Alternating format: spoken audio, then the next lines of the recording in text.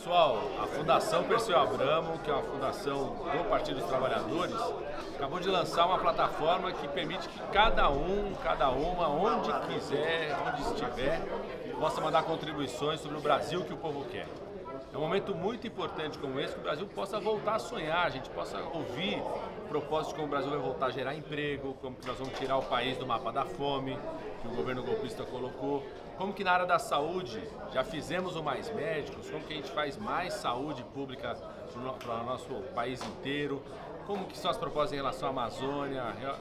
sertão do Nordeste, região metropolitana das grandes cidades, região sul do país, ou seja, participação de forma digital, participação em ciclo de debates, a plataforma vai ter também vídeos do ciclo de debates, de participações individuais de pesquisadores, gestores, movimentos sociais, ou seja, nós queremos construir junto com o povo brasileiro qual é o Brasil que nós queremos nos próximos anos. Então participe você também, é só entrar na plataforma, saiba a agenda de debates, os lançamentos que acontecerão nos estados, é, propõe atividades também para que a gente possa construir um grande programa de governo para o Brasil.